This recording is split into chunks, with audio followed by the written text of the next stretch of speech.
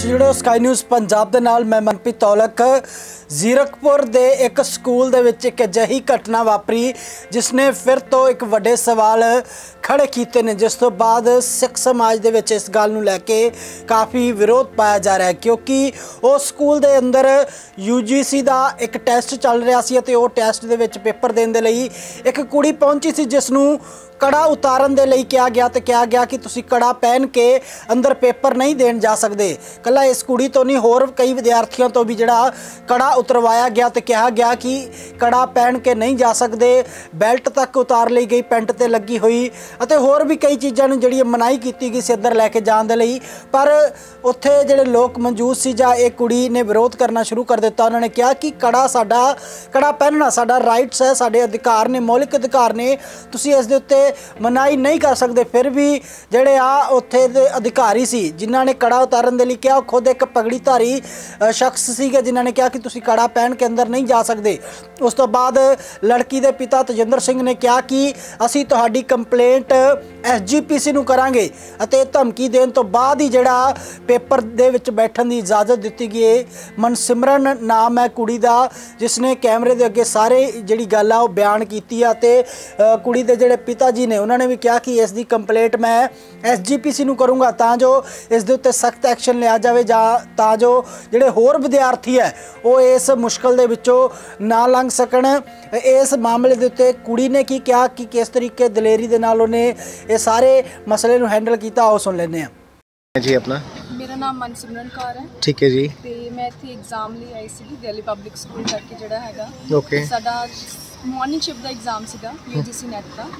ਤੇ ਜਦੋਂ ਇਨਸਟਰਕਸ਼ਨਸ ਵਗੈਰਾ ਸੀ ਸਾਰੇ ਰੀਡ ਆਊਟ ਕੀਤੀਆਂ ਸੀ ਅਕੋਰਡਿੰਗਲੀ ਡਾਕੂਮੈਂਟ ਸਾਰੇ ਲੈ ਕੇ ਆਏ। ਐਸ ਸੱਚ ਇਹਦੇ ਵਿੱਚ ਕੁਝ ਮੈਂਸ਼ਨ ਨਹੀਂ ਸੀਗਾ ਵੀ ਤੁਸੀਂ ਕੜਾ ਪਾ ਕੇ ਅੰਦਰ ਐਂਟਰ ਨਹੀਂ ਕਰ ਸਕਦੇ। ਤੇ ਜਦੋਂ ਅਸੀਂ ਐਂਟਰ ਕਰਨ ਲੱਗੇ ਤਾਂ ਸਿਕਿਉਰਿਟੀ ਵਾਲਿਆਂ ਨੇ ਸਾਨੂੰ ਰੋਕਿਆ ਕਿ ਤੁਸੀਂ ਕੜਾ ਰਿਮੂਵ ਕਰ ਦਿਓ ਇਵਨ ਜਿਹੜੀਆਂ ਰਿੰਗਸ ਪਾਈਆਂ ਸੀ ਉਹ ਵੀ ਰਿਮੂਵ ਕਰਾ ਲਈਆਂ। ਤੁਸੀਂ ਕੁਝ ਵੀ ਪਾਇਆ ਹੋਇਆ ornament ਸਾਰੇ ਰਿਮੂਵ ਕਰਵਾ ਲਏ। ਠੀਕ ਹੈ ਜੀ। ਕੜੇ ਦੇ ਰਿਗਾਰਡਿੰਗ ਜਦੋਂ ਕਿਹਾ ਗਿਆ ਕਿ ਨਹੀਂ ਇਹ ਤਾਂ ਸਾਡਾ ਹੈਗਾ ਰਾਈਟ ਹੈਗੀ ਐਜ਼ ਅ ਸਿੱਖ ਫੈਮਿਲੀ ਨੂੰ ਬਿਲੋਂਗ ਕਰਦੇ ਵੀ ਮੈਂ ਪਾ ਸਕਦੀ ਹੂੰ। ਕਿਉਂ ਕਹਿੰਦੇ ਕਿ ਉਹ ਸਿਰਫ ਉਹਨਾਂ ਨੂੰ ਅਲਾਉਡ ਹੈਗਾ ਜਿਨ੍ਹਾਂ ਨੇ ਸ਼ੀਰੀ ਸਾਹਿਬ ਪਾਈ ਹੋਈ ਹੈ। ਆ, ਜਿਹਨੇ ਅੰਮ੍ਰਿਤ ਛਕਿਆ ਹੋਇਆ ਜਿਹਨਾਂ ਹਾਂਜੀ ਅੰਮ੍ਰਿਤ ਛਕਿਆ ਹੈ ਕਿ ਜੇ ਤੁਸੀਂ ਅੰਮ੍ਰਿਤ ਛਕਿਆ ਹੋਇਆ।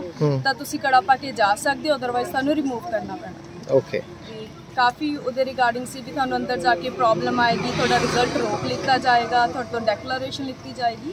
ਐਦਾਂ ਦਾ ਕੁਝ ਵੀ ਨਹੀਂ ਹੋਇਆ ਅੰਦਰ ਤੇ ਕਿਸੇ ਨੇ ਬੋਦਰ ਵੀ ਨਹੀਂ ਕੀਤਾ ਕਿਸੇ ਨੇ ਪੁੱਛਿਆ ਨਹੀਂ।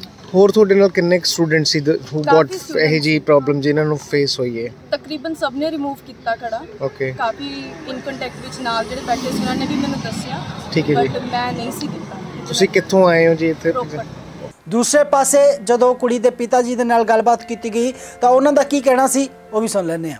ਪਹੁੰਚ ਕਰਾਂਗੇ। ਇਹਦੀ ਜੇ ਸਾਨੂੰ ਅਪੀਲ ਪਾਣੀ ਪਈ ਇਹਦੇ ਖਿਲਾਫ ਸਾਨੂੰ ਕੋਈ ਅਦਾਲਤੀ ਕਾਰਵਾਈ ਕਰਨੀ ਪਈ ਅਸੀਂ ਉਹ ਵੀ ਫਿਰ ਕਰਾਂਗੇ।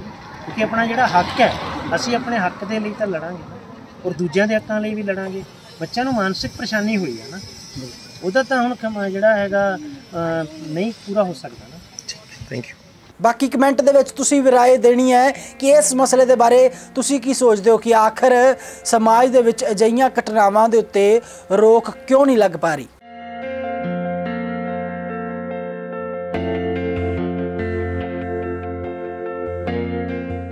ਦੁਖੀ ਭੈਣ ਭਰਾਵਾਂ ਦੇ ਸੱਚੇ ਹਮਦਰਦ। ਮੀਆਂ ਬਿਲਾਲ ਖਾਨ ਮੋਬਾਈਲ ਨੰਬਰ 98787 17500 ਮੇਰੇ ਕੀਤੇ ਨੂੰ ਮੇਰੇ ਤੋਂ ਇਲਾਵਾ ਕੋਈ ਕੱਟ ਨਹੀਂ ਸਕਦਾ। 100% ਗਾਰੰਟੀ ਨਾਲ ਪਾਓ ਹਰ ਪਰੇਸ਼ਾਨੀ ਦਾ ਹੱਲ। ਪਰੇਸ਼ਾਨੀ ਜਿਵੇਂ ਲਵ ਮੈਰਿਜ ਪਿਆਰ ਚ ਧੋਖਾ ਪ੍ਰੇਮੀ ਪ੍ਰੇਮਿਕਾ ਚ ਝਗੜਾ ਸੌਤਨ ਦੁਸ਼ਮਣ ਦਾ ਖਾਤਮਾ ਤਲਾਕ ਕੇਸ ਜ਼ਮੀਨੀ ਝਗੜਾ ਕਰਜ਼ਾ ਮੁਕਤੀ ਵਿਦੇਸ਼ ਯਾਤਰਾ ਵਿਦੇਸ਼ ਚ ਪੱਕੇ ਹੋਣਾ।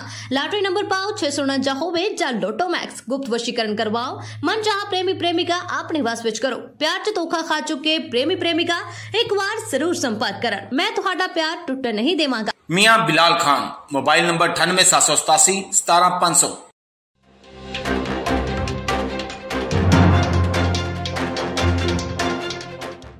ਹਰ ਖਬਰ ਦੀ ਤਾਜ਼ਾ ਅਪਡੇਟ ਦੇ ਲਈ ਸਾਡੇ YouTube ਚੈਨਲ ਨੂੰ ਸਬਸਕ੍ਰਾਈਬ ਕਰੋ Facebook ਚੈਨਲ ਨੂੰ ਲਾਈਕ ਅਤੇ ਸ਼ੇਅਰ ਕਰੋ